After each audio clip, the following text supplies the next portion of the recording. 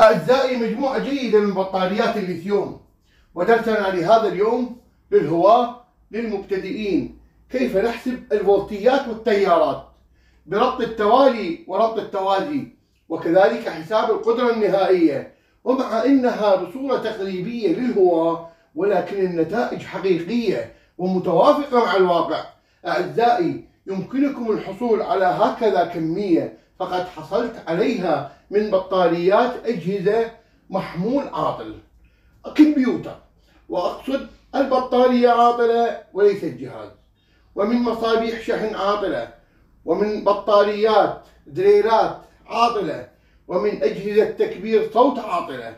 أعزائي أريد أن أصنع مخزن منزلي للطاقة الكهربائية وحيث أن هذه العاكسة تعمل على 12 فولت سوف أقوم بتشغيل مصباح على هذه العاكسة من خلال المخزن المنزلي للطاقة الكهربائية. وأحسب الوقت الذي سوف تعمل به المصابيح أو المصباح الواحد. من خلال النظر المبسط وأقارنه بالتطبيق العملي. بسبب أني أستخدم بطاريات مستعملة ومتنوعة ومختلفة المنشأ ومختلفة قليلا في فرق الجهد وفي السعة. فإني سوف أستخدم في الحسابات أرقام تقريبية ولكن أعزائي سوف تكون النتائج قريبة جدا من الواقع واقعية فلا تهتم بها كثيرا.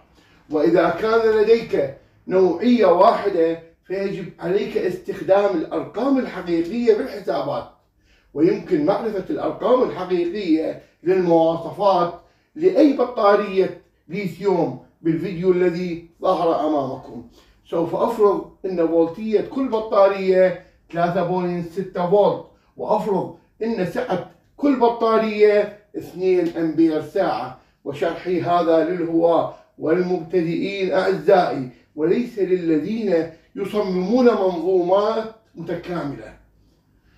فيما بعد إن شاء الله سوف أقوم بالشرح للذين يريدون أن يتعلموا التصميم لمنظومات متكاملة. وهذه هي البداية أعزائي.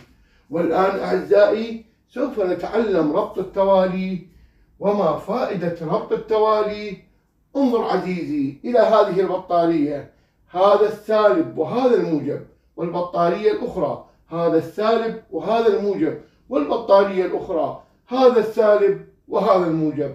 هكذا الزائي سالب وموجب سالب وموجب سالب وموجب وينتج لدينا سالب وموجب بعد لحامها طبعا. وهذا هو ربط التوالي وسوف نأتي إلى لحامها لاحقا. وفي هذا الفيديو الذي ظهر أمامكم طريقة بدائية في اللحام وسوف أشرح الطرق الحديثة لاحقا إن شاء الله. وسوف تكون هذه الدروس عبارة عن سلسلة من الصفر وسوف تشمل كل شيء في بطاريات الليثيوم الآن أعزائي الفولتية التي حصلت عليها هي مجموعة فولتيات هذه البطاريات وكما فرضناها 3.6 فإن 3.6 زائد 3.6 زائد 3.6 يساوي 10.8 أعزائي صحيح أني أريدها 12 فولت. ولكن لو أضفت بطارية أخرى لكان الناتج 14.4 والأفضل أن نستخدم 10.8 فولت على هذا الانفرتر إن لم يكن لديك 12 فولت. وتذكر إننا في الحسابات عند استخراج القدرة نستخدمها كما هي 10.8 وأعزائي في ربط التوالي الفولتية تجمع ولكن التيار يبقى نفسه والسعة كذلك تبقى نفسها. الآن لدينا مصدر 10.8 فولت في 2 أمبير ساعة. الآن أعزائي سوف أضع ثلاث بطاريات أخرى بنفس الطريقة.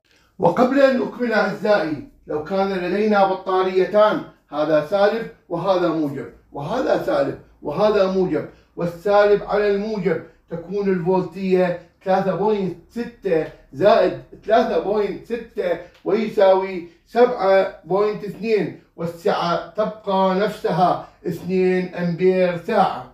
أما إذا أردنا أن نربطها على التوازي يوصل السالب مع السالب والموجب مع الموجب وتكون لدينا بطارية بنفس الفولتية 3.6 فولت ولكن السعة سوف تكون 4 أمبير ساعة السعة سوف تجمع. فلذلك أعزائي لو قمت بإيصال هذا السالب مع هذا السالب وهذا الموجب مع هذا الموجب سوف تكون لدينا بطارية 10.8 فولت والسعة سوف تكون 4 أمبير ساعة وهذا هو ربط التوازي. السعة تجمع وكذلك سوف تستوعب تيار حمل مضاعف عن السابق.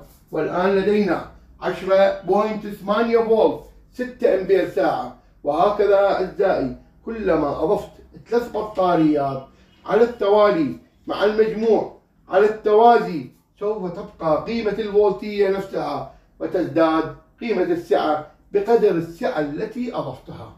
والآن أعزائي 12 أمبير ساعة يعني نضرب 2 في 6 والفولتية تبقى نفسها 10.8 فولت. أعزائي بعد أن تعلمنا ربط التوالي وربط التوازي يجب علينا أن نتعلم كيف نحسب القدرة. والقدرة مهمة جدا بالحسابات وكذلك أن نتعلمها أمر سهل جدا. أن نضرب رقمين نضرب الفولتية 10.8 في السعة السعة 12 آه، أمبير ساعة وتكون النتيجة 129.6 واط ساعة. أعزائي من خلال هذه القدرة نستطيع أن نحسب الزمن الذي يعمل به مصباح فولتيته مثلا 10.8 فولت.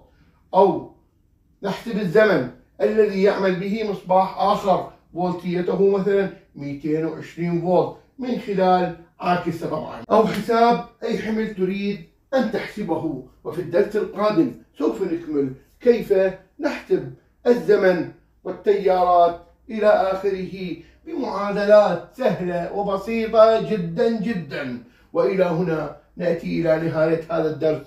والسلام عليكم ورحمة الله.